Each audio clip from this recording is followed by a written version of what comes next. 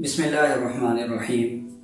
अज़ीज़ तलबा गुज्त लेक्चर में हम इस्लामियात जमात नहम सूरतफ़ाल के रुकू नंबर एक का तर्जुमा पढ़ चुके हैं। आज हम इस रुकू में से बनने वाले अहम सवाल और उनके जवाब पढ़ेंगे। बोर्ड ऑफ़ इंटरमीडिएट में जो बहुत ज़्यादा सवाल पूछा गया है, वो ये है कि सूरतफ़ाल की वजह तस्मिया बयान करें। या सूरतफ़ाल को सूरतफ़ाल क्यों कहते हैं? या, ये सवाल इसी तरह भी पूछा गया कि सूरतफ़ाल को यह नाम क्यों दिया गया?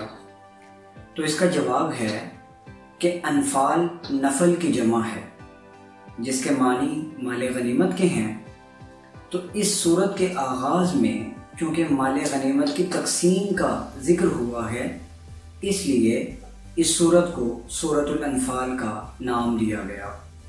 इसी तरह आपसे पूछा जा सकता है कि माल गनीमत की तकसीम का पहला हुक्म बयान करें।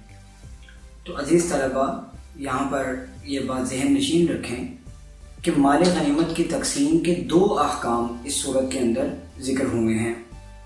यहाँ एक इजमाली ज़िक्र है, मुख्तसर है, और तीसरे या चौथे रुकू में एक तफसीली ज़िक्र माल गनीमत की तकसीम का बयान होगा, उसको हम आगे पढ़ेंगे।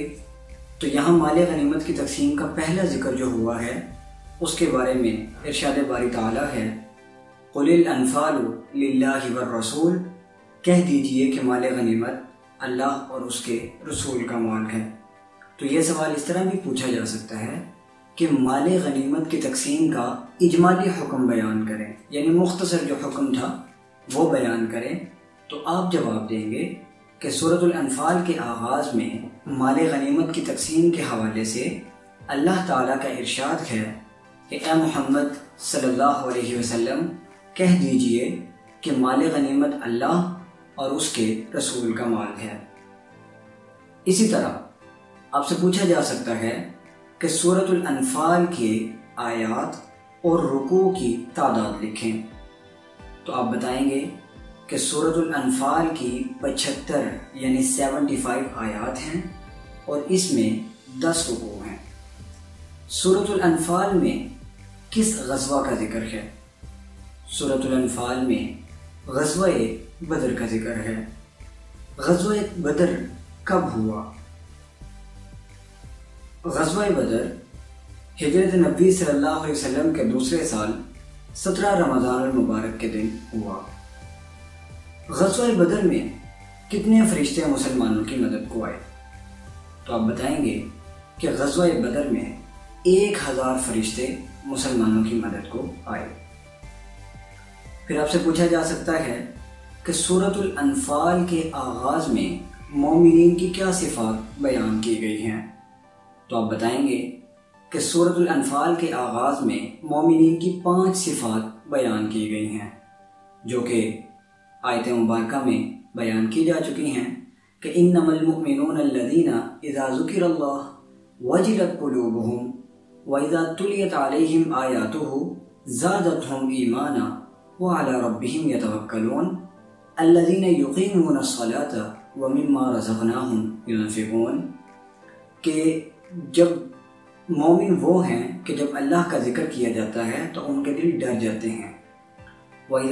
आलिहिम आयातुहु ज़ादतहुम ईमाना, जब अल्लाह का, अल्लाह की आयात की तिलावत उनके सामने की जाती है तो उनका ईमान बढ़ जाता है। वाला रबिहिम यतवक्कलून, वो अपने रब पर भरोसा करते हैं। अल्लज़ीन युकीमून सलाह, वो लोग नमाज़ कायम करते हैं। वामीम वमीमा रज़क़नाहुम युनफिकून और जो रिस्क हमने उनको दिया है उसमें से नेक कामों में खर्च करते हैं। तो ये पाँच सिफात अल्लाह ताला ने सूरतफ़ाल के आवाज़ में मोमिन की बयान की हैं। तो आप चाहें तो आयत का तर्जमा लिख सकते हैं, चाहें तो आप इनको पॉइंट्स की सूरत में लिख सकते हैं। इसी तरह आपसे पूछा जा सकता है कि सूरतफ़ाल के आगाज़ में मोमिन को किस अजर सवाब की नवीद सुनाई गई है, या मोमिन को किस अजर सवाब की खुशखबरी सुनाई गई है? तो आप देखेंगे, अल्लाह ताला ने फरमाया उलाइकाहुमिन हक़ लहुम व मग़फ़िरतुन व रिज़्क़ुन करीम तो अल्लाह ताला ने तीन तरह के अजर सवाब की मुसलमानों को मोमिन को खुशखबरी सुनाई है। वो कौन कौन सा है? लहम दरजात रबी उनके लिए, उनके रब के यहाँ बुलंद दर्जात हैं। व मगफरत और मगफरत है, यानी बख्शिश है, उनको बख्श दिया जाएगा। वारिस करीम और इज़्ज़त की रोज़ी है। तो ये तीन तरह के अल्लाह ताला ने इनामत मोमिन को या अजर सवाब की खुशखबरी सुनाई है। अब से पूछा जा सकता है कि दो ग्रोहों से क्या मुराद है?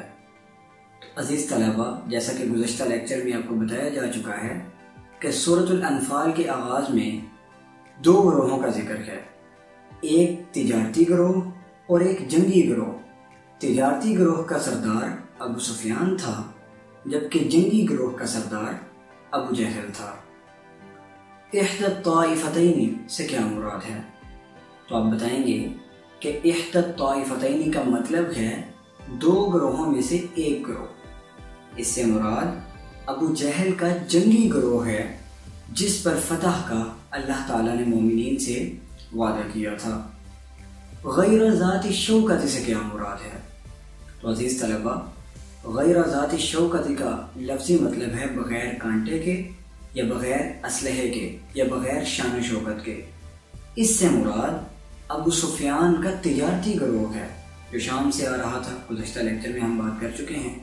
तो इससे मुराद अबू सुफियान का तजारती ग्रोह है, जिस पर मुसलमान फतह हासिल करना चाहते थे। अज़ीज़ तलबा, आपसे पूछा जा सकता है कि माल गनीमत से क्या मुराद है? तो आप बताएँगे कि कुफ़ार के ख़िलाफ़ जंग की सूरत में जो माल कुफ़ार छोड़कर भाग जाते हैं या उनकी मौत की सूरत में उनके जिस्मों पर रह जाता है, उनके कीमती कपड़ों की शक्ल में या उनकी जो असलहा है या उन्होंने कोई अगर चेन या अंगूठियाँ वगैरह पहनी हुई हैं तो ये सारा माल जब कुफ़ार छोड़कर भाग जाते हैं मोमिन इसको इकट्ठा कर लेते हैं तो इस माल को माल गनीमत कहा जाता है। इन सवाल के अलावा आपकी एक्सरसाइज में जो अल्फाज मानी लिखे गए हैं, वो भी बोर्ड में एक एक नंबर का मानी पूछा जा सकता है। तो आप उन अल्फाज के मानी को भी अच्छे तरीके से जहन नशीन कर लीजिए।